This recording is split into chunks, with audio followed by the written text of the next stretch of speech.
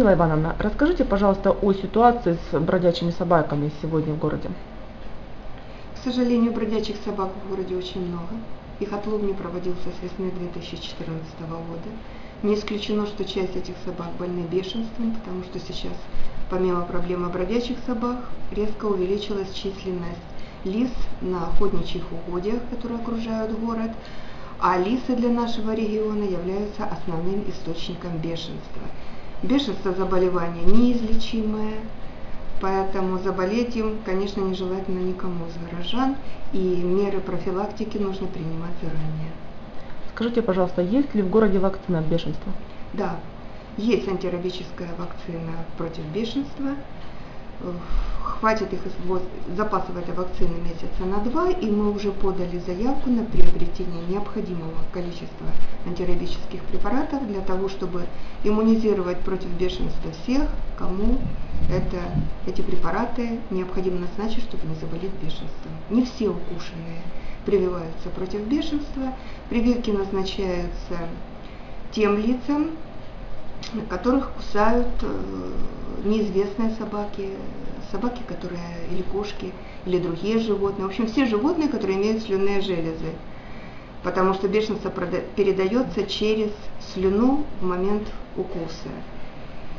Какие? И если за животным можно установить ветеринарное наблюдение, и ветврач подтвердит, что животное на самом деле не бешеное, для этого нужно наблюдать в течение 15 дней за животным.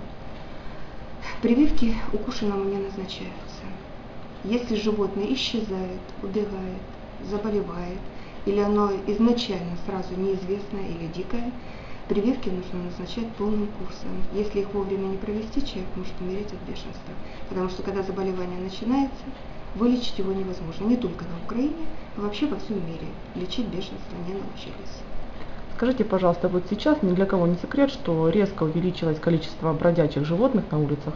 Каким образом себя вести, если уже попал в такую ситуацию, когда тебя окружила стая собак? Или вы видите, что навстречу идет стая собак? Ну, пожалуй, это будет самый сложный вопрос, который вы мне задаете, поскольку точного ответа на него, конечно, нет. Ну, возможно, остановиться и э, не проявлять никакой агрессии по отношению к собаке. На недвижущиеся предметы и живые существа собака не так агрессивно отреагирует, как на все остальное. А так предвидеть ее поведение это достаточно сложно. Хотелось бы, чтобы собак было меньше на улице, чтобы люди не думали о том, как от них спастись и какие меры предосторожности принять. Вы как, вы как врач, а, в чем видите способ решения этой проблемы? Э, конечно, в регулировании численности бродячих животных. Чем меньше будет бродячих животных, тем меньше люди будут подвергаться нападению.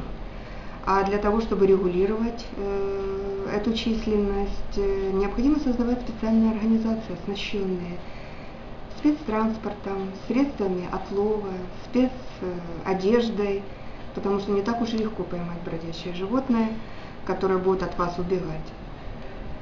И, но все это требует, безусловно, финансовых вложений. Регулировать можно и путем организации стерилизации животных. Стерилизованные животные не дают потомства, и это тоже уменьшает численность животных. Можно отлавливать животных и помещать э, в приюты, где они не будут э, представлять никакой опасности для окружающих людей. И животные будут живы, и люди не пострадают от укуса. Скажите, пожалуйста, в чьей компетенции решение проблемы бродячих животных?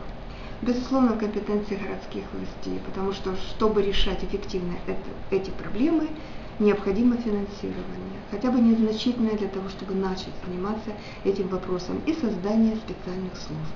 Или же заключение договоров на платной основе со службами, которые уже функционируют в соседних городах, для того, чтобы они проводили отлов животных.